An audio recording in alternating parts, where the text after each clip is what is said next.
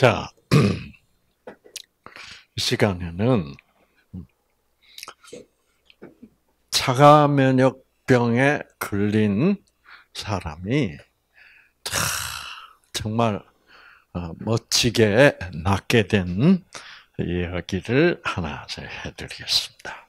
음. 어, 제가 미국에서 어, 그때 이제 제가 KBS 나오고 해서 이제 강의를 해서 그때는 막 진짜 대한민국에서 이 상구를 모르면 뭐라 그랬어요? 그 간첩이다 그랬어요. 어. 그래가지고 방송이 끝나고 한국에서 많은 분들이 미국으로 오셨어요. 어. 네, 그래서 미국서 이제 한국인 프로그램이 시작이 됐는데, 어, 이제 그때 어떤 분이 오셨냐고 하면 한 여자분이 왔는데 부잣집 며느리예요. 어. 그 이분이 그 류마티스성 관절염에 걸려가지고 어, 이렇게 걷지를 못하고 휠체어를 타고 다니는 그런 차원에서 어, 이제 오게 됐습니다.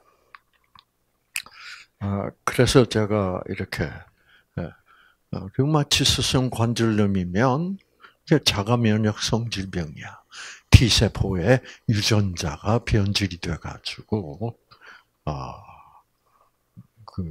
어, 자기 관절을 어, 공격해서 관절에 염증을 일으키니까 관절염인 거예요. 그래서 특히 아, 이렇게 퇴행성 관절염이 아니고 그 어, 연골이 닳아서 생기는 그런 관절염이 아니고 이런 자가면역성 관절염을 어, 류마티서성 관절염이라고 불러요. 음. 그래서 뭐 좀 더 정확하게 얘기하면 자가면역성 관절염이라고 부를 수 있어요. 그래서 이제 남편이 데리고 왔어요. 어, 데리고 왔는데 어, 남편은 바로 다음 날 비행기를 타고 한국으로 떠나야 된대. 그래서 이 사람들이 왜 이렇게 한국서 미국에 오게 되냐면 이, 이 부인 관절염 때문에 뭐 걷지도 못하고 면 앉아서 생활하고 통증은 너무 심하고 어 이제 그랬는데 그렇게 이제 그 자가 면역성 질병에 걸려서 통증이 심하고 관절이 붓고 아프고 이제 그러면 병원에서는 어떻게 치료를 할까? 병원에서는 어떤 어떤 치료 약을 주냐고 하면 자, 이 문제가 T 세포가 변질된 거 아니에요. 그렇죠? T 세포가 변질돼서 이 T 내 자신의 T 세포가 내 자신의 관절을 어, 관절 말고 다른 데도 공격하겠지만 공격하기 때문에 병원에서 생각하는 건 아주 단순해요. 이 T 세포를 죽여라예요. 그럼 T 세포를 죽이면 어떻게 돼? 네. 면역력이 떨어져서 그렇죠. 어, 그래서 암 세포를 못 죽이게 되고 그러면 암 걸릴 확률이 쫙 올라가요. 네. 그래서 그 T 세포를 억제하고 죽이는 약을 면역 억제제라고 그럽니다.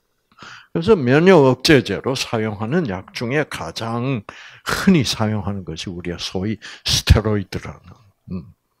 이제 스테로이드를 약을 쓰면 그 스테로이드 부작용으로 얼굴이 막 이렇게 붓고 여러분 상환이 봤죠, 그렇죠? 상환이 어릴 때 사진. 네, 얼굴이 막 부어가지고 그 스테로이드 부작용. 그렇게 되면 면역력이 더 약화져요. 그런다고 그 면역 억제제를 쓴다고 해서 그 병이 날 수는 없습니다. 병이 날라면 어떻게 돼야 돼? T세포 안에 변질된 유전자가 다시 정상으로 어떻게 정상 유전자로 돌아가야 돼.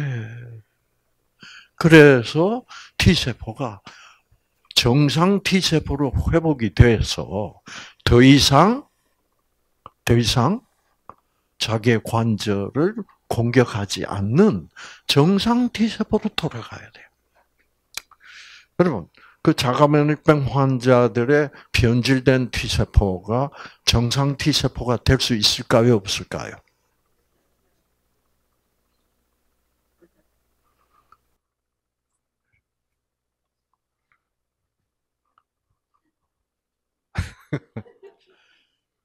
여러분, 될 수 있지요. 이 정도 강의 들었으면 될 수 있다고 대답을 좀 해야지. 예.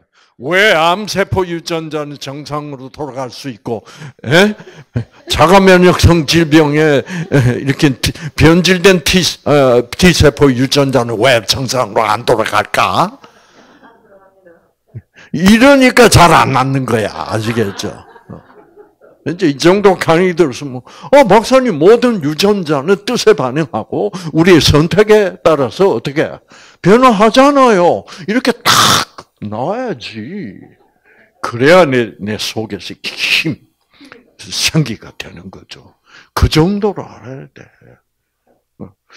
근데 이제 되게 제가 강의를 이렇게 열심히 해도 다 병에 따라서 다른 줄 알아. 여러분, 예. 모든 질병은 유전자의 변질로 생깁니다. 그러나 모든 유전자의 변질은 변질은 다 정상으로 회복될 수 있습니다. 아시겠죠? 예. 자, 그러면 그래서 이 여자는 그 스테로이드 치료 그 다음에 그 어, T세포 죽이는 약, 뭐, 사이톡산, 뭐, 이런 게 독한 약들이 많아요. 그래서 그 집안이 예, 아주 부자예요. 그 시집이. 그래가지고 이제 신랑이, 아, 이제 한 달 동안 휴가를 내가지고 와서 미국의 제일 유명한, 제일 비싼 병원에 돌아다니면서 치료받아 봐야 면역 억제제예요. 어. 미국 온다고 뭐 다른 뾰족한 수가 없어. 그러니까 병원 바꿀 때마다 또 뭐 해야 돼? 검사, 그놈의 검사. 예. 하고 이제 이렇게 기진맥진해서 이제 그래도 안 나니까 그리고 또 이 여자는 안 날 수밖에 없는 그런 마음을 가지고 있어요. 제가 조금 이따 말씀드릴 텐데. 예. 어. 자, 네, 이 여자가 아, 아주 착한 여자예요. 어, 이, 이 자가면역병은 착할수록 잘 걸리는 병이에요. 네. 착하다는 말은 무슨 말이에요? 다른 사람, 주위 사람들한테 억지 부려, 안 부려? 안 부려. 어. 다 괜찮니? 그럼 뭐예요? 네, 괜찮아요. 왜? 다른 사람이 자기를 위해서 애쓰고 그런 것이 너무 미안해. 네. 어. 그래서 너무너무 뭐를 잘 지키려고 그래. 예의를 잘 지키려고. 그 얼마나 수고가 많아요. 여러분. 여러분, 이거를 알아야 돼요. 착한 사람들이. 아무리 착해도 자기를 가장 사랑하는 사람에게는 예의를 안 지킵니다. 그 사람 누구예요? 엄마. 왜, 왜, 왜 예의를 안 지켜도 돼요? 나를 가장 사랑하는 사람에게는. 내가 조금 안 착하더라도 뭐예요? 사랑해, 무조건 하고. 아시겠죠? 그래서 어떻게 돼요? 가장 편한 사이가 된다, 이 말이에요. 자, 그래서 그런데 엄마한테까지도 예의를 지킬만 하면 그 사람은 스트레스를 어떻게 정말 많이 받을 수 있는 사람이에요. 네. 그래서 우리가 믿음이라 그러잖아요. 우리가 어떨 때 예의를 지켜? 예의를 잘 지켜야만 이 사람은 나를 착하게 본다. 라는 무슨 생각? 조건적 생각. 왜? 사람들은 내가 예의 발라야 착하다고 한다. 음. 어. 그러나 우리 엄마한테는 내가 예의를 지킬 필요가 없어. 내 있는 그대로의 모습을 나타내고 싫다 말이야. 엄마한테만은 이렇게 할 수 있다. 그거를 믿음이라고 그래요. 믿음이란 것은 이 상대방은 나를 너무나 사랑하기 때문에 내가 나의 부족한 면, 나의 나쁜 면이 드러나더라도 우리 엄마는 나를 그럼에도 불구하고 사랑해. 이게 이제 이 자가 면역병을 치유하는 데 가장 중요한 겁니다. 아시겠죠? 어. 그래서 아 여러분 내가 애써 가지고 예의를 지키고 착하게 굴라고 그런 그러면은 그거는 그 상대방이 나를 아무 조건 없이 사랑한다는 것을 안 믿는다, 안 믿기 때문에 그렇다. 그래서 방금 우리 얘기했죠. NEWSTART 맨 마지막에 믿음을 가지세요. 음, 내가 믿음을 가지게 되면 마침내 어떻게 돼요? 자유하게 돼. 마침내 자유를 누릴 수 있어.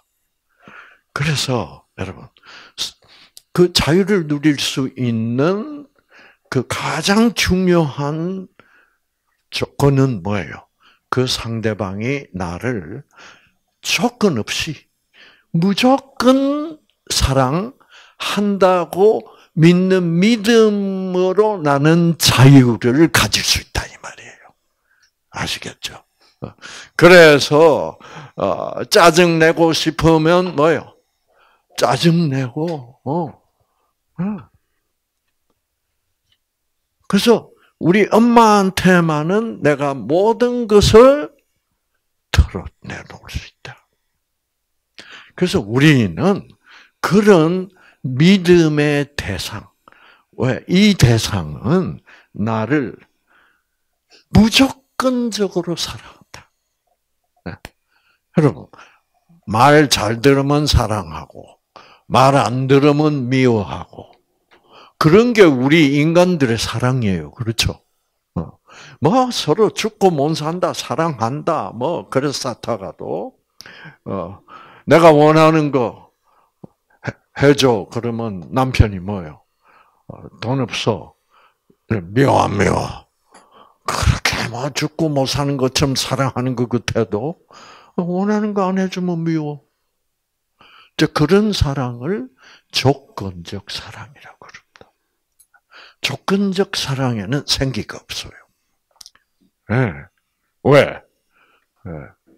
그렇죠? 내가 해달라는 거를 해줬으니까. 네. 음. 그리고 언제든지 내가 원하는 대로 안 해주면 미워할 준비가 어떻게 항상 돼 있어. 네, 그러니까 그거는 완전히 사랑하는 것은 아니에요. 그래서 완전한 사랑은 어떤 사랑이냐 하면 무조건적 사랑이라고 해요. 음. 자, 그래서 우리 외한 우리 우리 어머니는 저를 사랑하셨는데 네, 시험 성적이 좋아야 사랑하고 어, 성적이 떨어지면 뭐예요? 맞아야 돼. 응. 근데 우리 외할머니는 빵점 받아와도 좋아. 그러니 우리 외할머니 앞에서는 내가 완전히 자유해. 그런데 우리가 완전히 자유할 수 있는 대상, 인간으로서의 대상은 정말 찾기 어려워요. 음, 그렇죠. 어, 어머니들도 조건적인 엄마들이 대부분이야. 그렇죠. 무조건적으로 사랑하잖아. 어. 그런데 우리에게는 그 무조건적 사랑이 필요합니다. 우리가 생기, 생기라고 배웠는데 그 생기의 본질은 무엇이기 때문이에요? 사랑이기 때문인데 그 조건적 사랑은 생기가 못 돼요. 음. 그래서 무조건적 사랑. 이것을 내가, 와, 이분은 나를 무조건적으로 사랑하시는구나. 어. 여러분. 그러면 제가 어, 그, 어, 우울증 걸렸던 얘기 했죠. 그렇죠? 어. 와, 우리 엄마가 나를 버린 게 아니고, 뭐예요? 나를 사랑하잖아. 어. 그 순간 유전자가 어떻게 해요? 팍 켜지면서 우울증이 완전히 도망간 거예요. 네. 여러분. 이제 이런, 그래서 내가 사랑, 아, 이 대상은 나를 사랑하는구나. 와, 그렇구나. 정말이네. 이거를 우리가 뉴스타트에서는 이거를 깨닫는 것이 너무나 중요해. 음. 아시겠죠? 그래서, 그래서 우리가 2부 세미나라는 걸 합니다. 아시겠죠? 어, 어, 하나님의 우리가 하나님 하나님 하지만은 항상 그 우리가 말하고 있는 하나님은 엄숙해. 그리고 왜 부모님들이 옛날부터 교회 댕기고 뭐 그래서 부모님 따라서 교회 가고 하면서 배우는 하나님은 어떤 하나님이에요? 내가 조금만 어, 버릇없이 굴면 엄마는 나보고 뭐라 그래요? 하나님 이놈한다. 무조건적 사랑이 하나님 안 가르쳐요. 철저히 조건적이에요. 그렇게 되면 여러분 유전자의 생기를 줄 수 있는 사랑이 아니에요. 음. 그래서 지금 오늘 이제 그래서 흔히 우리가 말하고 있는 우리 인간이 흔히 얘기하고 있는 사랑은 조건적 사랑이에요. 뭐 내 말대로 내가 원하는 대로 안 해주면 미워. 어. 그래서 항상 모든 내가 원하는 걸 다 해줄 줄 알았더니 결혼하고 보니까 이게 거짓말이야. 아니야. 그러면 그 사랑은 결국 눈물의 씨앗이 되는 거야. 아시겠죠? 그 조건적 사랑은 결국은 스트레스가 돼버린 거야. 왜? 네가 내가 원하는 대로 해주면 내가 사랑하지. 라는 것은 철저히 조건적 사랑이고, 그 조건적 사랑은 알고 보면 사랑이 아니에요. 왜? 그런 조건적 사랑은 누구 중심적이에요? 자기 중심적이에요. 무조건적 사랑이라야 내가 아무리 못되고 어, 버릇없고 그럼에도 불구하고 뭐다 사랑하는 거라. 그게 감동스러운 사랑이지. 그게 아름답지요. 그런 사랑이라야 뭐요? 선하죠. 어? 그런 사랑이라야 우리가 뭐요? 진실된 사랑이지. 그래서 진선미. 가 있는 사랑은 무조건적 사랑이고, 그래서 그 무조건적 사랑은 우리 유전, 꺼진 유전자를 켜줄 수 있는, 우리의 변질된 유전자를 다시 회복시켜 줄 수 있는 생기가 되는 거다, 이 말이에요. 네. 네. 자, 그러니까, 이, 이, 어, 자가 면역성 질병이 나려면 T 세포 속에 내가 죽고 싶다. 이런 그 스트레스를 또 참고 또 오늘도 견디고 또 견딜려니까 얼마나 힘들어. 아 피곤하다. 이러고 살다가 이제 드디어 아 죽으면 얼마나 편할까. 자꾸 그래서 어, 죽음 쪽으로 자꾸 생각을 하게 되고 어, 그러면 내 마음 속에 품은 뜻이 뭐요? 죽고 싶다, 죽고 싶다, 죽고 싶다 이렇게 되면 T 세포들이 생체 전자파, 뇌파를 통해서 그 신호를 받는다고.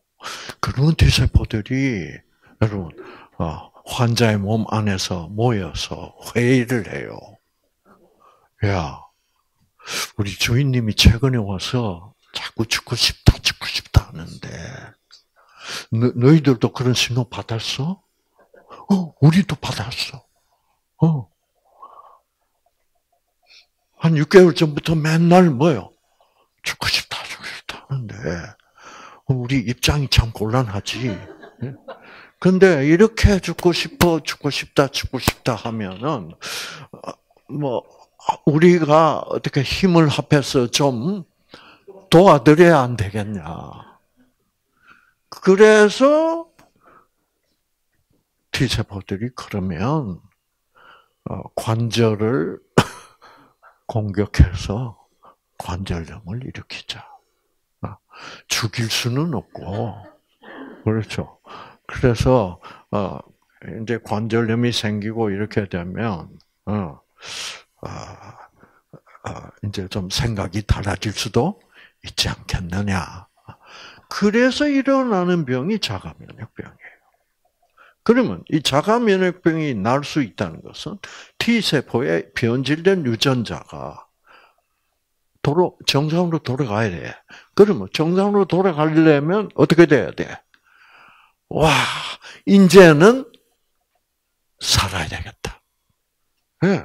그 생각이 확 바뀌어야 돼. 음. 제가 그런 어, 환자들을 여러 명 제 뉴스타트를 통해서 어, 경험을 했습니다. 어, 이 여자 환자는 천주교인인데 천주교인들은 그 세례명이라고 있지 않습니까? 그 세례명이 안젤라였어요. 안젤라. 어, 안젤라. 안젤라라는 말은 무슨 말이게? 천사라는 말입니다. 이 여성은 그 성당 안에서 가장 천사 같은 여자예요. 그러니까 딱 자가 면역증 딱 걸리게 돼 있어. 천사. 모든 성당의 모든 교인들이 가장 어, 저, 저, 저 여자는 안젤라는 진짜 세례명 같이 천사 같은 여자야. 그래서 그 안젤라만큼 믿음이 신앙심이 좋은 여자도 없다. 어, 그래서 다들 그 안젤라를 다른 집의 며느리감으로 소개해주고 싶어 했던 어, 그런 이제 여자였어요. 그런데 안젤라는 그 같은 성당에 댕기는 아주 부잣집 아들, 응? 어, 어, 완전히 KS 마크에다가 뭐, 응? 막 그리고 키도 크고 얼굴도 잘 생겼고 뭐 어떤 처녀들이 봐도 어, 정말 어, 뿅갈 그런 어, 그리고 아, 심성도 아주 좋고 그래서 또 그 남자는 또 안젤라한테 폭 빠지고 그런데 결혼을 못 해요. 어, 집안도 좋고 모든 조건이란 건 다 좋아. 그리고 둘이 진짜 진심으로 사랑하고. 근데 결혼을 못 하고 있어 벌써. 벌써 4년이 지났는데 못 하고 있어. 못 하는 이유가 뭐냐? 시어머니 때문이야. 어, 시어머니가 악명이 높아. 많은 주위 사람들이 성당 밖에 사람들이 다 알아. 얼마나 그 집에 딸 주면 어떻게 해요? 딸 잡는다. 자, 뭐, 뭐, 다, 뭐, 다 아는 거야. 그러니까 안젤라 엄마 쪽, 아, 그, 그 남자 쪽에서는 안젤라를 좋아하는데, 예. 아무도 자기 딸을 그 집에 시집 보낸다는 것은 뭐요? 그건 안 된다. 이렇게 돼서 안젤라 엄마도 단호하게 no. 그 이제 처녀가 점점 노처녀가 돼가고 있고 어, 남자도 노총각이 돼가고 있고. 어. 그 당시에는 요즘은 뭐 그 당시에는 스물여덟, 스물아홉만 돼도 뭐요 노총각, 노처녀였어. 요즘에는 뭐 서른 전에는 결혼 안 하는 모양이던데. 음. 자, 어. 그래가지고 이제 큰일 났어.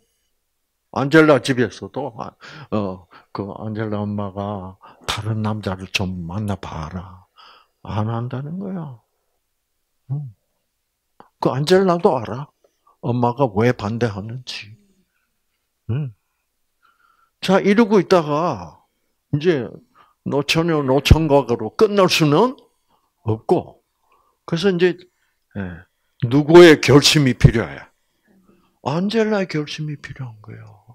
그쪽에서는 안젤라를 원하고 있는데 문제는 안젤라 엄마 때문에 안 되는 거예요. 그래서 안젤라가 각오를 한 거예요.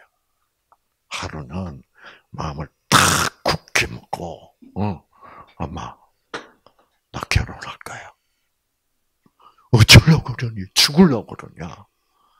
아마, 그 시어머니가 힘드신 분이라 그냥 다, 나도 잘 알지만은, 내가 그 집에 들어가서 내가 최선을 다하고, 정말 모범을 보이고, 어, 그러면 혹시 그 시어머니가 감동을 해가지고, 어, 나를 잘 대해주고, 어, 그리고, 어, 진짜로, 아, 진짜로, 어, 어, 그 시어머니 성당에만 왔다 갔다 하지, 뭐, 하나님 생각도 없어.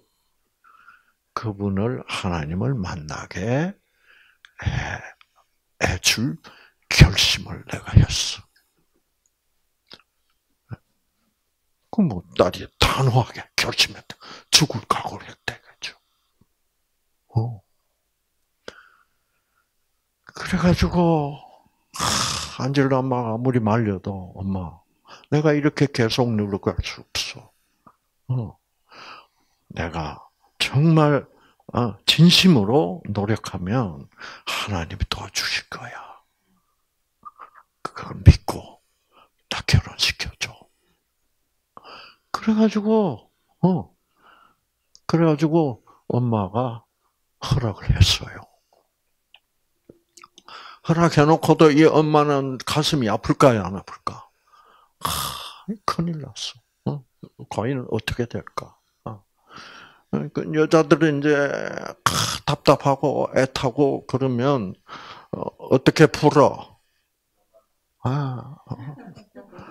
그래서 이모한테도 얘기하고 또 음. 네. 자, 그래 가지고 이제 결혼을 결혼식을 탁 했어. 결혼식을 탁 했는데, 예. 하고 이제 패백이란 걸 드리는데, 어. 이제 안젤라가 시어머니한테 절하려고 탁 절을 탁 하니까 시어머니가 흠 절은 잘하네. 근데 들리는 소문에 의하면 네가 나를 변화시키겠다며? 엄마밖에 모르는데 어떻게 글로 건너갔죠? 여성분들 말 조심하세요. 어. 엄마는 누구한테 얘기했겠어? 누구한테 하소연했을까? 이모한테. 어. 이모한테 하소연하면서 뭐라 그랬게? 말하면 안, 너만 알아. 그러니까 이모는 이모 친구하고 제일 가까운 친구한테 또 얘기를 하면서 너만 알아. 이렇게 돼서 건너가. 근데 여자들은 건너갈 것 것장 다 알고 그러는 것 같아. 네, 하여튼, 음, 그래서, 그래, 시어머니 말이야. 그래, 우리 한번 해보자. 와, 선전 보고야. 금방진년 같으니라고. 와. 그러니까 여러분 안젤라가 어떻게 됐겠어? 예, 이제 죽었구나. 막 억장이 뭐요? 그래서 안젤라가 이제 또 어, 하나님 도와주세요. 어, 도와주세요. 그 제가 하여튼 최선을 다해 보겠습니다. 이제 시험, 그런데 안젤라는 그래도 이제 최선을 다해서 시어머니를 잘 모셔드리는 거예요. 그러면 안젤라가 잘하면 잘할수록 내가 변할 줄 알아? 이런 시어머니는. 이러니 얼마나 피곤할까요? 그렇죠. 그러면서 꼬치꼬치 일일이 괴롭히는데 죽을 지경. 응? 자, 어떻게 됐을까요? 안젤라가 하나님한테 약속은 했고, 그렇죠. 그런데 자기가 아무리 잘해드려도 시어머니는 뭐라 그래? 네가 이렇게 잘해준다고 해서 내가 변할 줄 알아? 웃기지 마. 이러고 있단 말이야. 절망적이야. 얼마나 피곤하겠어. 어? 여러분, 이런 상황에서 사시는 분들이 많죠. 음. 네, 그래서, 그러니까 이제, 아, 죽고 싶다, 죽고 싶다, 이렇게 된 거예요. 어. 그러다가 이제, 예, 안젤라가 한 6개월을 그래도 버텼어. 계속 잘해주고 잘해드리고 해도 점점 더 악해지는 거야 상황이. 예. 그래서 안젤라가 아 포기하자. 그래서 하나님한테 약속한 걸 포기했어. 음. 포기하고 이제는 그렇게 애를 써서 잘해주기보다는 이제는 뭐예요? 적당히 착한 며느리로서 적당히 잘해주기 시작하니까 시어머니가 어떻게 됐게? 2년 봐라 이렇게 된 거야. 아 이게 이제는 어? 어? 이때까지 해준 것처럼 해주지도 않네. 이래 가지고 시어머니가 열을 받아 가지고 막 소리를 치고 막 어? 이러니까 시어머니 혈압이 쫙 올라갔겠죠. 예? 예. 그러다가 이 혈관이 하나가 어떻게 해요? 막혀가지고 쓰러진 거야. 그래서 반신불수가 된 거야. 중풍이 왔어. 그래서 이런 더러운 이런 이런 사람 그래서 막 쓰러졌어. 그러니까 이제 안젤라는 그 착, 착하기 때문에 하, 지금 자기가 포기한 것도 하나님한테 미안하고 거기다가 자기가 포기했기 때문에 더 잘해주는 것을 포기했기 때문에 시어머니가 화가 나가지고 쓰러져서 이제 지금 반신불수 중풍 반신불수가 된 것도 누구 탓이라고 생각해? 자기 탓이라고 생각하는 거야. 어. 그러니까 자 포기한 죄도 짓고 이제 시어머니 중풍 걸리게 한 죄까지도 지었어, 이제. 이제, 그런데 안젤라도 하나님을 믿긴 믿는데 조건적으로 믿고 있어. 그게 뭐예요? 조건적으로 믿는다는 말이 뭐예요? 내가 하나님에게 한 약속도 포기를 했고 안 지켰고 시어머니 중풍까지 걸리게 한 원인을 제공하고 그러니 하나님이 나를 뭐요 벌, 벌 주실 것이다. 그래서 안젤라가 그 벌을 안 받으라 하나님 용서해 주세요. 지금부터라도 다시 시어머니를 잘 해드리겠습니다. 저를 용서해 주십시오.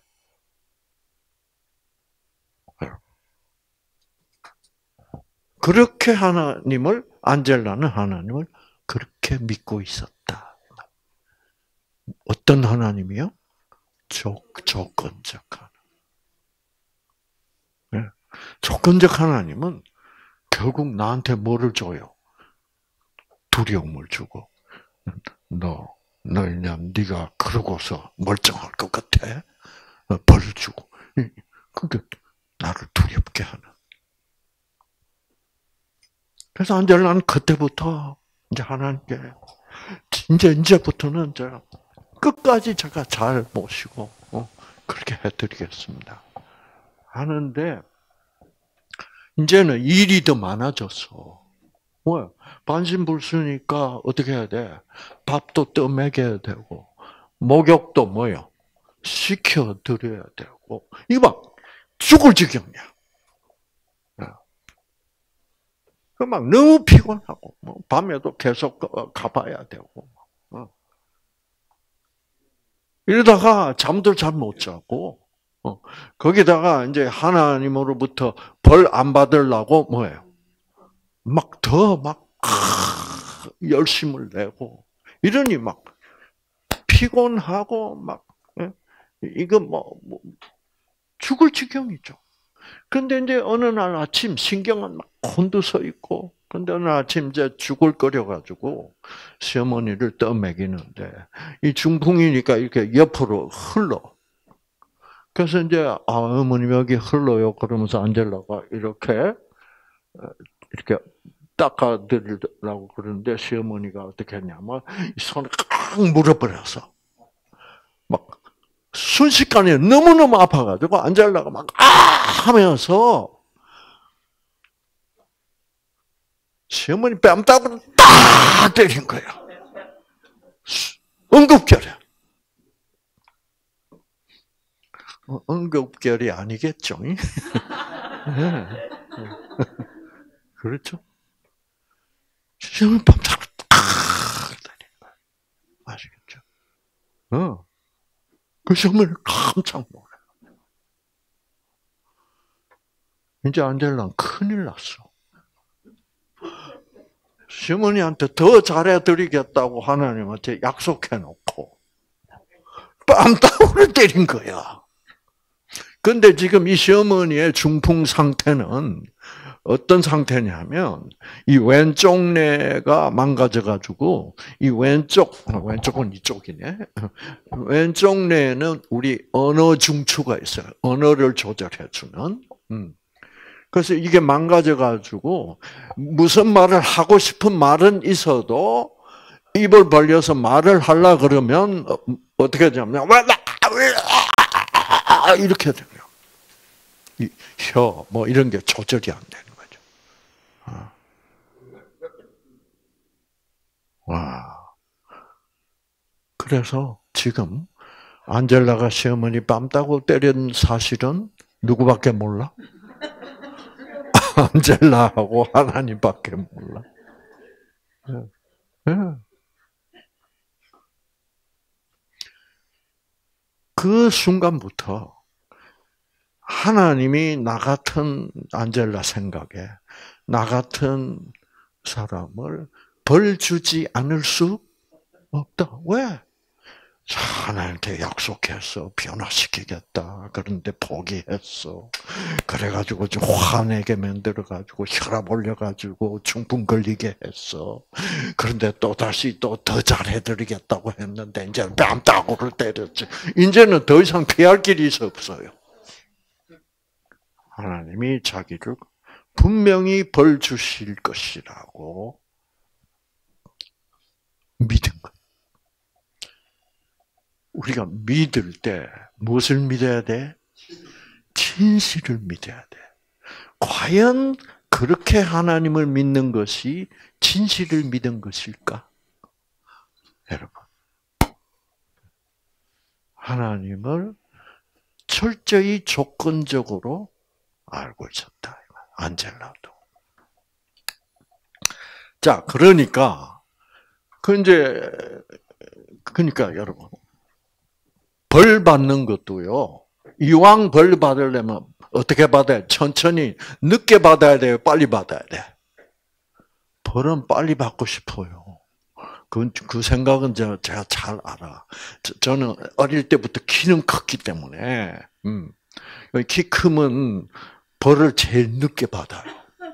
맞아요. 그때 이제 벌 받는 게 주로 손 내밀 줄 서가지고, 네, 키 순서대로 쫙 서가지고. 네.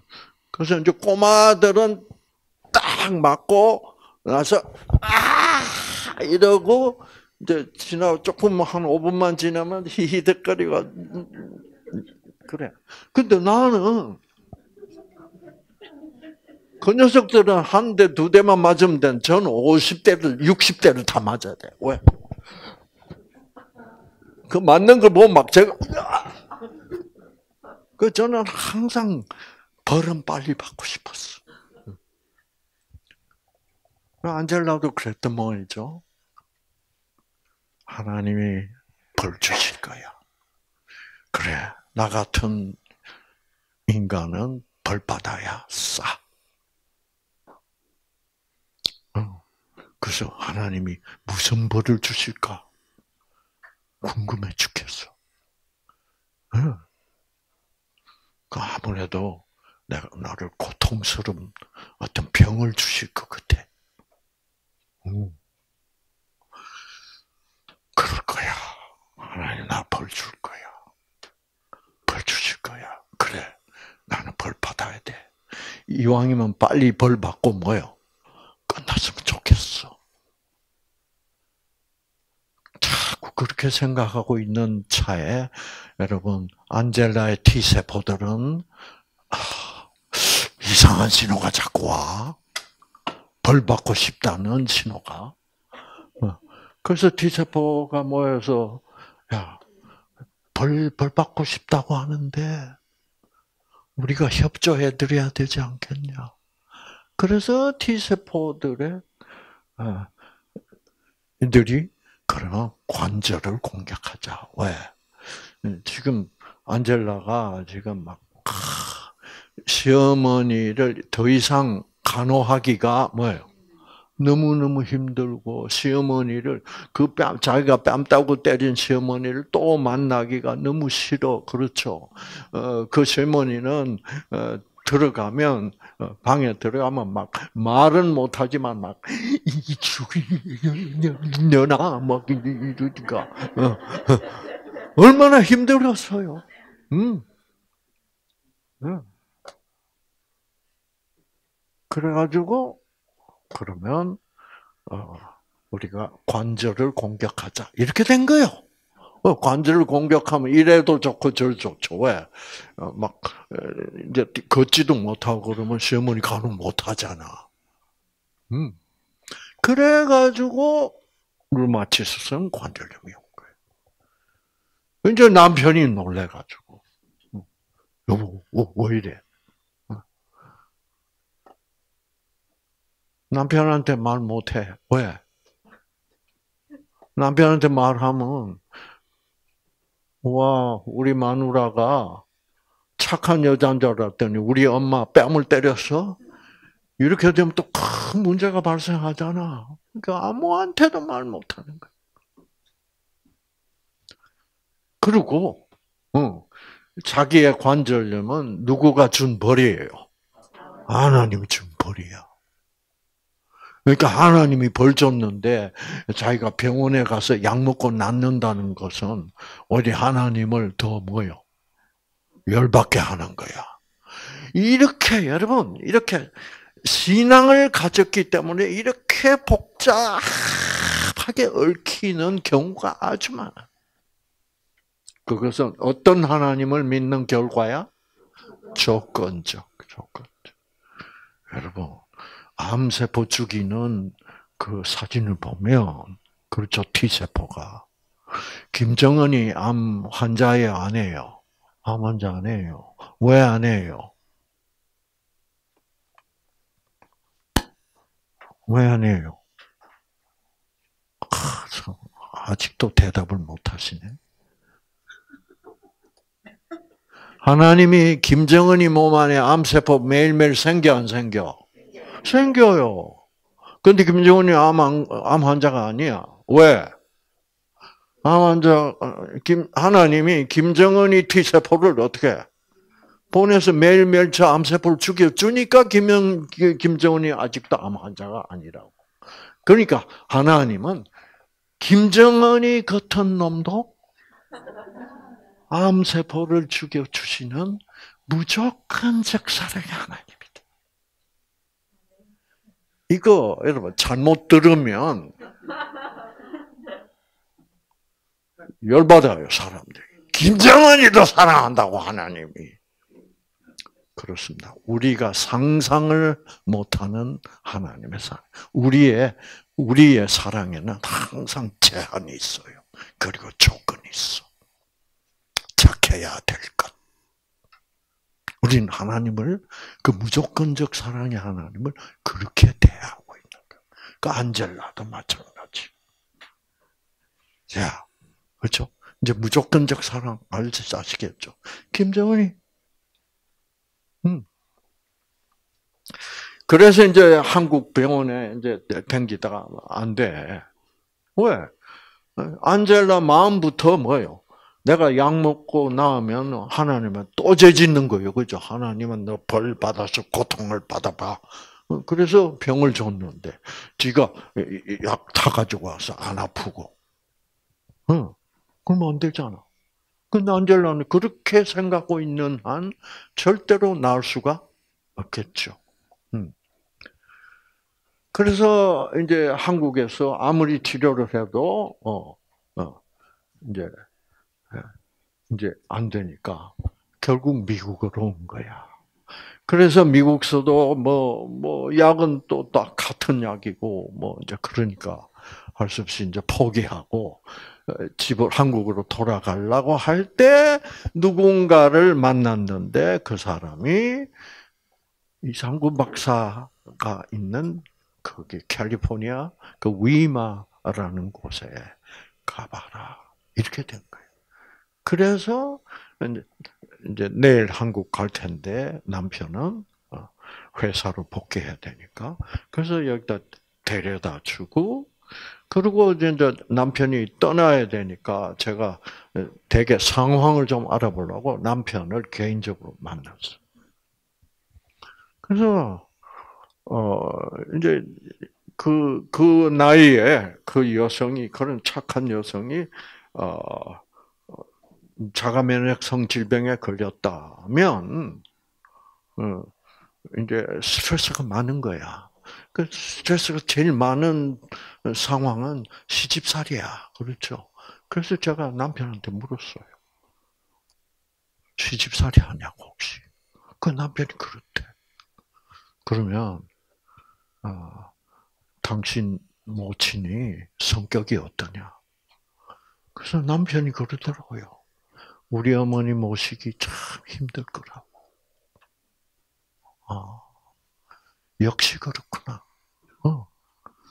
그래서 이제 아, 제가 설명을 해주고 어, 여기서 지금 아, 그 그런 죽고 싶다라는 상태에서 그 안젤라 씨의 생각이 벗어나야 되잖아.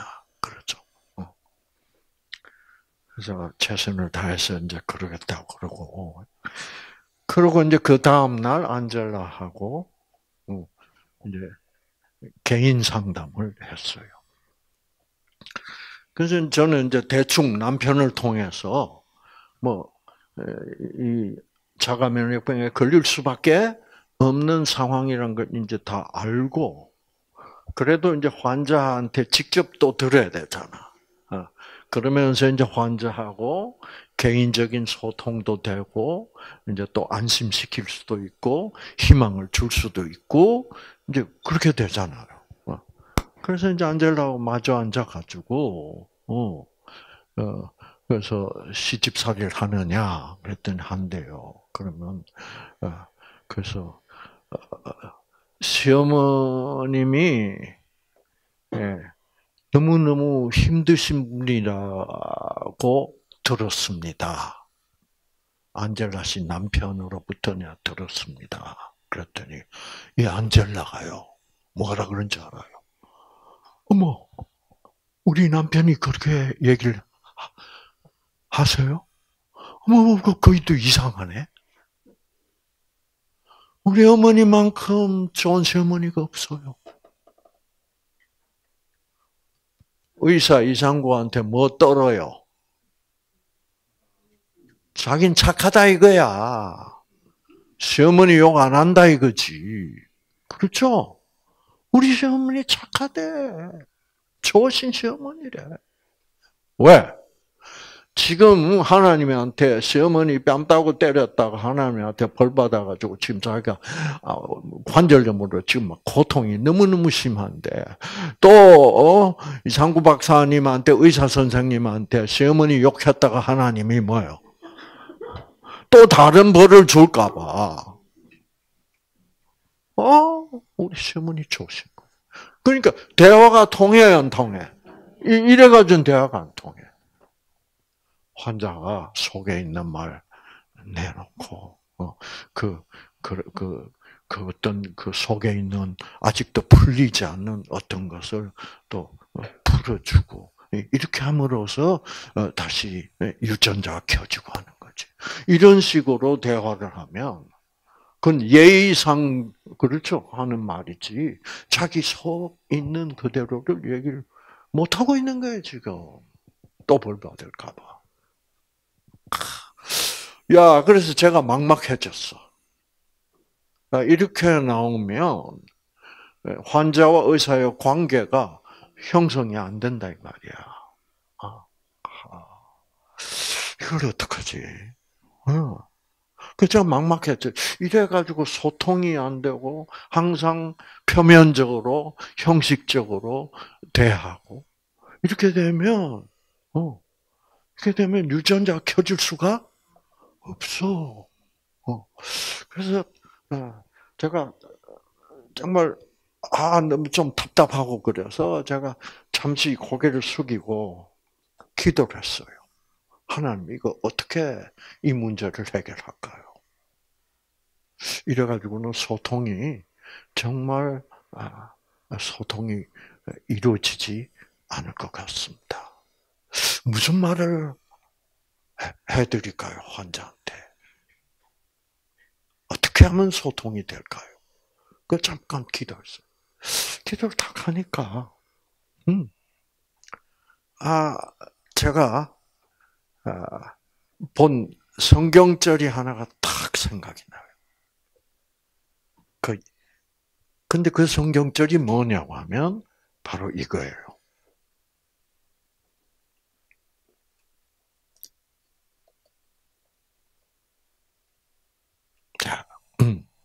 누가복음 6장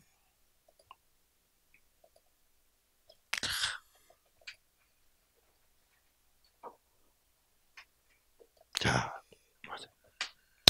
자 보면 여러분 오직 너희는 예수님의 말씀입니다. 너희는 원수를 사랑하고 벌써 예수님은 우리 보고 원수를 사랑하라 그래요.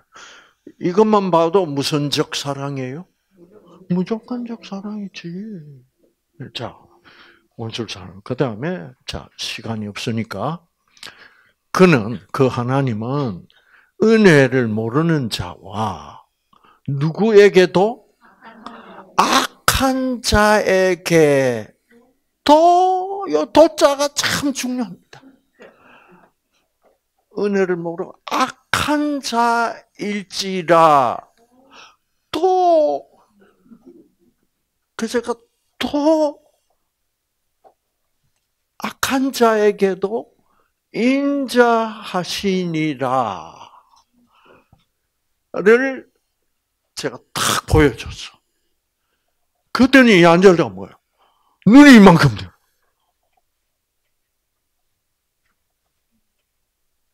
그러면서 뭐라 그런지 알아? 악한 자에게도. 그렇습니다. 악한 자에게도. 그러더니, 하, 제 얼굴 한번 보고, 성경 한번. 하나님은 자기가 이때까지 믿어왔던 하나님은 악한 자에게는 뭐예요? 벌 주시는 이때까지 자기가 알아왔던 하나님하고 달라. 놀랬어.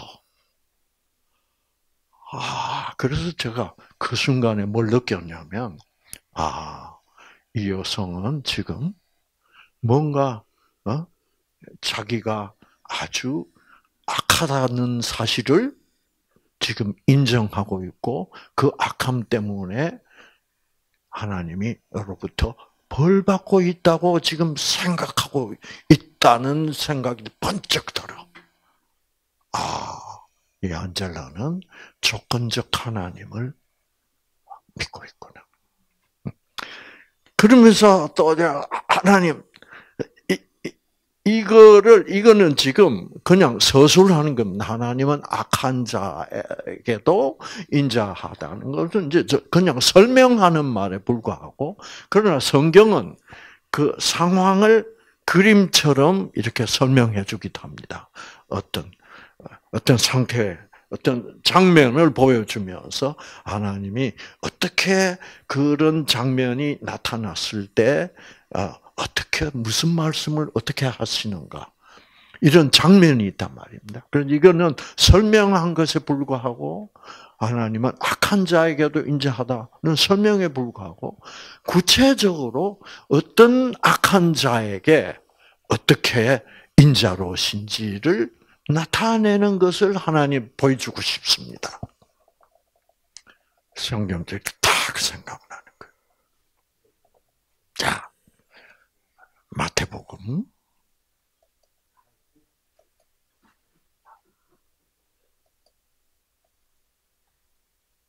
자, 여기 보면 예수님이 십자가에 못 박히시기 바로 전날 아, 여러분 제자들하고 소위 마지막 만찬이란 것을 합니다. 음.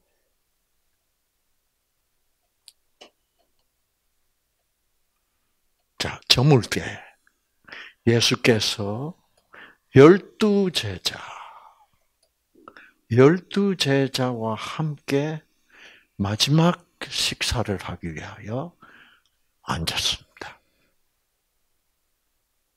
여러분, 열두 제자, 그 지금 이 만찬이 끝나면 그 다음날 예수는 체포가 돼요. 자, 그리고 십자가에 못 박혀요. 예수님이 체포되고 십자가에 못 박히는 것은 누가 배반했기 때문이에요? 네, 가론 유다라는 열두 제자 중에 한 사람이 배반했기 때문이에요. 그래서 돈 받고 팔아넘겼어. 그리고 정보를 제공해서 그래서 체포가 되는 거예요. 네. 자, 그런데 예수님이 이 마지막 만찬을 하실 때 이미 예수님은 가론 유다가 자기를 배반할 것을 알았게 몰랐게 알았어요. 알았죠. 알았으면 예수님이 그 가론 유다를 그 마지막 만찬에 오라 해야 돼요. 오지 말라 해야 돼요. 오지 말라 해야 돼. 그러나 여기에는 분명히 몇 명의 제자? 열두 제자, 그러면 가론 유다가 포함이 됐어. 그래서 제가 설명을 했습니다. 열두 제자입니다. 가론 유다가 배반할 것을 아시면서도 예수님은 가론 유다와 함께 앉았습니다. 그랬더니 안젤라 뭐요? 어, 아까는 뭐예요? 악한 자에게도 인자하시라 그랬는데 과연 보니까 예수님은 악한 중에도 가장 악한 가론 유다까지도 에게도 뭐요? 인자하신 거 맞아요, 맞아요. 와, 하나님은 가론 유다도 살아갔습니다.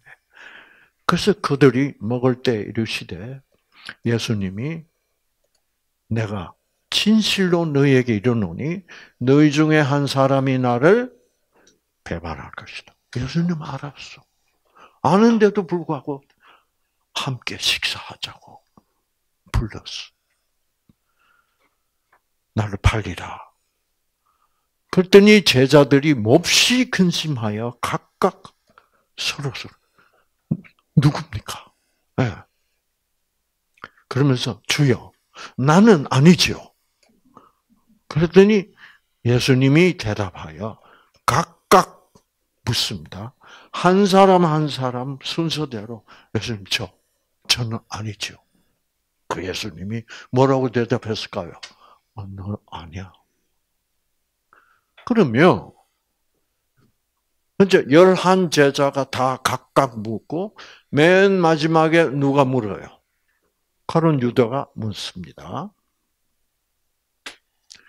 예수를 파는 가론 유다가 대답 어, 질문합니다. 선생님이요. 나는 아니지요. 여러분, 제가 예수님 곁에서 어째 어땠게?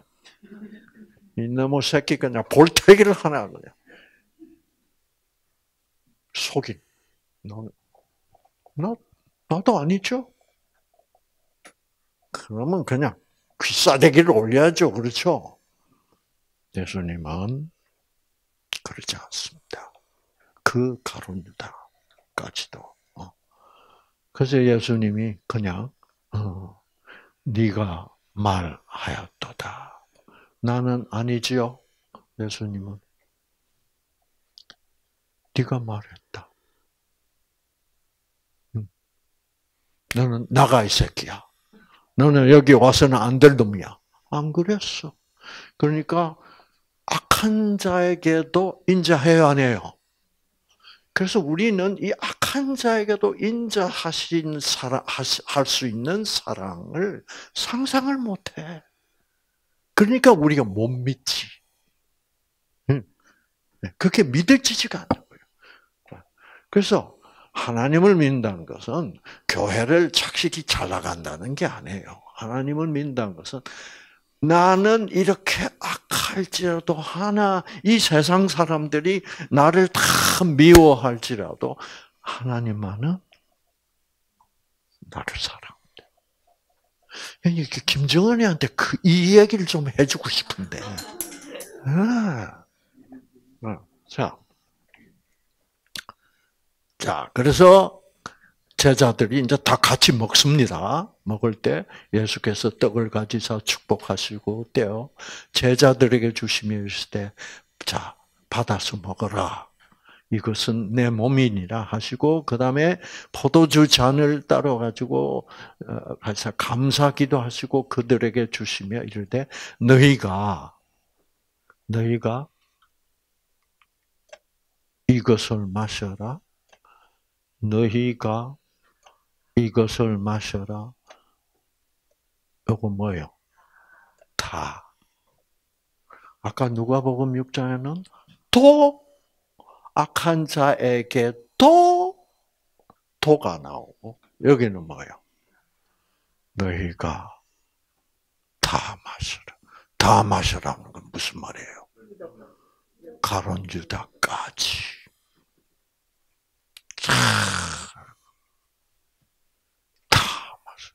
저 같으면 이렇게 말 안 해. 너희가 이 잔을 마셔라. 가론 유다, 너는 마시지 마라. 예수님은 다 마시라. 조건 없이 내가 너 가론 유다를 위해서도 내 피를 흘릴 것이다. 그리고 너를 구원할 것이다. 악한 자에게도 뭐예요? 인자하시다. 이렇게 하나님을 믿는 사람들 힘들어요. 찾기. 아시겠죠? 음. 여러분, 예수님의 이런 말씀이, 말씀을 들을 때, 와, 가론 유다도 마시라. 감동이 돼야 한대요. 예. 네. 이때 이 진리의 말씀 속에 있는 생기를 받는 거야. 와, 하나님의 사랑은 가론 유다에게도 이 잔을 마시라고 하는구나. 음. 그러면서 이것은 이 잔은 죄 사함을 얻게 하려고 많은 사람을 위하여 흘리는 바 나의 피 곧 약속의 피다. 약속을 너희를 내가 구원하겠다. 그 약속, 약속을 상징하는 피다. 제가 다 이제 이거를 쭉 읽어줬습니다. 그래서 너희가 다 이것을 마시라. 라고 읽으면서 제가 안젤라 씨를 쳐다보고 예수님은 분명히 열두 제자 모두가 뭐예요? 다 마시라고 그랬죠. 그랬더니 안젤라가 어머 너무 놀래버렸어. 그러면 저도 마셔도 된다는 겁니까? 제가 뭐라 그럴게? 안젤라 씨는 가론 유다보다 더 예수를 배반한 가론 유다보다 더 나쁜 죄를 지었습니까? 아마 더 나쁜 죄를 지었어도 예수님은 안젤라 씨에게도 마시라고 하시겠습니다. 그랬더니 막, 그 순간 막, 막 우는 거야. 그러면서, 제 손을 잡고, 박사님 감사합니다. 어? 하나님 감사합니다. 저 같은 사람도 이거를 구원의 십자가에서 구원을 위하여 흘리시는 피를 저 같은 사람도 마시라고. 그러면서 막 엉엉 울면서 박사님 그러면서 그때부터 뭐예요? 잘잘잘잘 불기 시작하는 거야. 음. 자기가 어떻게 결혼하게 됐고 그래서 시어머니 뺨 따고 때리는 것까지 다 불어. 왜 불어요? 내가 이렇게 나쁜 인간이라도 하나님은 하나님의 사랑은 나에 대한 사랑은 변하지 않는다는 믿음이 들은 거야. 이 말씀을 보고 유전자 켜질까 켜질까 생기가 와 하나님이 나는 지금 시어머니 뺨따구를 때는 아주 못된 며느리인데 나를 이렇게 살아. 와 감사합니다. 하나님 감사합니다. 박사님 감사합니다. 막 웃었다가 울었다가 막 하라고. 그때는 막,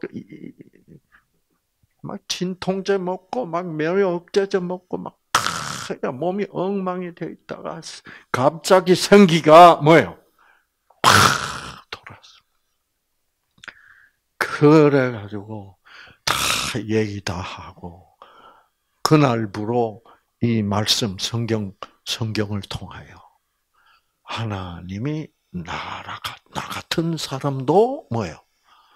사랑하신다는 것을 믿게 되었다.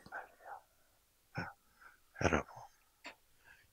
이래가지고 안젤라는 와 박사님 제가 이때까지 믿었던 하나님은 조건적이었습니다.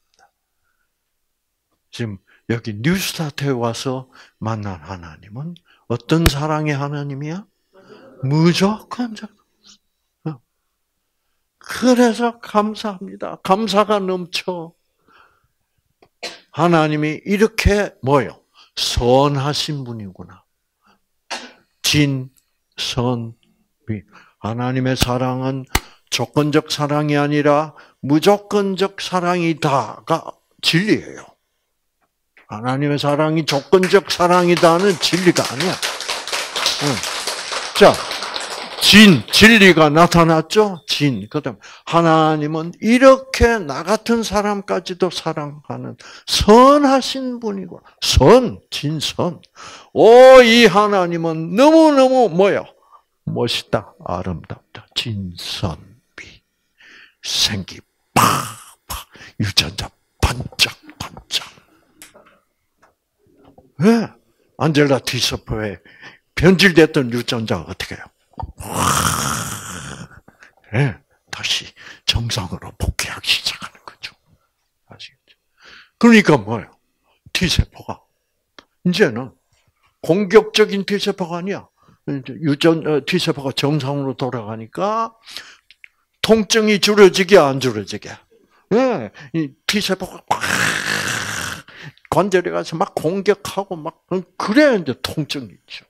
근데 T세포가 얌전해지기 시작하는 거예요. 그래서 한 그렇게 통증 진통제 필요하고 스테로이드 뭐 면역 억제제가 필요한데 한 3일 만에 뭐예요? 통증이 다 없어진 거. 그러고 막 이 손가락도 막이막 손가락 마디가 막 부어가지고 그것도 다 좋아지고 그래가지고 한 한 5일 지날 때는 드디어 안젤라가 피아노를 치기 시작해. 이때까지 피아노도 그러니까 여러분 어, 이제 그래서 이제 걷기 시작하고 예. 그래가지고 그때는 아 우리가 1부, 2부를 이렇게 섞어서 했어요. 어, 오늘 강의식으로. 오늘 이런 강의는 2부 강의입니다. 아시겠죠? 예. 예. 그래서 어, 성 하나님의 사랑 이야기, 성경 이야기 하고 또 과학적인 얘기를 이렇게 섞어서 이렇게 하는데 이제 그 그렇게 하려면 20일이 걸려. 어. 그래서 지금은 어, 여러분들이 열흘밖에 못 있겠다 그래서 1부하고 2부를 쪼갠 것에 불과해요. 어, 그래서 여러분이 정말 아, 이부도 듣고 싶다. 못 들으실 남아서 못 들으실 분은 집에 가서 들으실 수밖에 없는데 예, 예, 그러나 가능하면 뭐예요? 이렇게 직접 음, 들으시는 게 예, 훨씬 더 강력한 아, 작용을 하죠. 음. 자, 그래가지고 안젤라가 다 났어. 어, 20일 후에 완전히 났어. 어, 그래가지고 그때는 여러분 뭐, 뭐 그때는 뭐 유튜브도 없었고 하니까 어, 우리가 이제 그 녹화를 해가지고 어, 그때는 그 VHS 알아요? 옛날에 우리 왜 영화 빌리려면 가야 되잖아. 그래서 그거 빌려서 어, 이제 VHS 탁 끼고 뭐. 그래서 그 그러니까 20, 20일 동안의 강의를 어 이제 탁 해가지고 이제 가방을 큰 가방을 해가지고 드디어 한국에 도착했습니다. 다 나가지고 한편 한국에 남아있던 시어머니는 어떻게 지내고 있었냐? 할 수 없이 간병인을 이제 데리고 올 수밖에 없었어. 근데 이 간병인을 잘못 만난 거야. 고약한 간병인을 만나가지고 이 환자가 시킨 대로 말 잘 안 듣고 뭐 짜증 내고 그럼 때려 그냥. 왜? 말을 못 하니까. 그러니까 맨날 간병인한테 뭐요? 그러니 누구 생각이 났게? 며느리 생각이 꿀뚝같이 나는 거야. 그리고 이 시어머니도 어떻게 생각했냐고 하면, 음, 자기가 이런 나쁜 간병인을 만나가지고 하나님 벌 준다고 생각했어. 만나게. 왜? 자기가 며느리한테 너무 심하게 했어. 그래서 이제 사람들이 다 조건적 하나님 믿고 있는 거야. 아시겠죠? 그래서 이제 안 되다가 와가지고, 어, 어머니, 예, 제가 이제 건강해졌으니까 제가 모시겠습니다. 간병원에 내보내고. 시어머니가 뭐 어떻게 할게? 와, 막 고마워서 막, 어. 그러니까 고생도 해봐야 돼. 그렇죠. 어, 어, 어, 어, 뭐, 그 말은 못하지. 막, 고마웠어. 생기 받아야 받아요. 그렇죠. 시어머니도 막 생기 막 안젤라가 너무 며느리 너무 고맙고 자기가 왜 그렇게 못되게 했던지 막, 막, 어, 울고 막, 어, 어. 그래가지고 이제는 막 며느리가 며느리 말 너무 잘 듣고 막 며느리 보니까 너무 사랑스럽고 막 그러고 그러니까 안젤라도 힘나요 안 나요? 어, 그래가지고 이제 뉴스타트 강의를 시어머니한테 들려주고 현미밥 해주고 뭐 이제 건강식 다 예, 뉴스타트 배운 대로 해주고 이러니까 내 세포가 재생하는 거야. 내 세포도 재생합니다. 아시겠죠? 예. 우리 간경화도 낫고 뇌세포도 재생합니다. 간경화 얘기는 제가 내일 할 거예요. 그래서 시어머니가 점점 뭐요? 아, 마비가 풀리기 시작하고, 예. 네. 오른쪽 다리를 이렇게 다리가 이렇게 움직이기도 하고, 그러면서 뭐요? 말도 돌아오고. 여러분. 그래가지고 그 시어머니가 이제는 집행일을 짓고 어떻게 걸을 수도 있고 말도 할 수 있게 된 거예요. 뇌세포가 재생하니까. 그래가지고 안젤라한테 그 간병인한테 맞았던 얘기를 다 해줬어. 응. 응. 뭐 맞을 짓을 했겠지, 그렇죠. 그래가지고 그 시어머니도 드디어 그 강의를 들으면서 아 내가 며느리한테 이렇게 악하게 했어도 하나님이 나를 사랑하신다는 것을 시어머니도 무조건적 사랑의 하나님을 받아들였죠. 그 무조건적 사랑이 생기죠. 그렇죠. 그러니까 생기를 받으니까 뇌세포 재생이 빨리빨리 되는 거예요. 그래가지고 여러분 뉴스타트에서 만난 무조건적 사랑의 하나님 때문에 그 시어머니가 드디어 변화가 됐어. 그래서 과연 안젤라가 결혼, 어, 결혼을 결심할 때 내가 하나님이 도우시면 내가 시어머니를 변화시키겠습니다. 라는 그 약속도 이루어지게 되었습니다. 아시겠죠? 어, 뉴스타트란 건 이런 거예요. 그리 결국 안젤라가 병이 난 것은 뭐 때문에 났어요? 말씀을 성경 말씀 속에서 와 하나님은 내가 그런 며느리였어도 사랑하신다 는 그 믿음을 가지게 되었고, 아, 그래서 생기를 받게 되었고, 그래서 이렇게 그러니까 여러분 하나님이 말씀으로 병자를 고치신다는 말이 맞아요, 맞아요. 네, 맞는 거야. 그래서 이제는 유전자 의학이 이렇게 발달하니까 아, 결국 우리는 무엇을 선택해야 돼요? 우리의 선택에 따라서 유전자는 변한다. 무조건적 사랑의 하나님을 여러분 모두도 함께 선택하시고 생기로 치유받으시기를 바랍니다. 맞아요.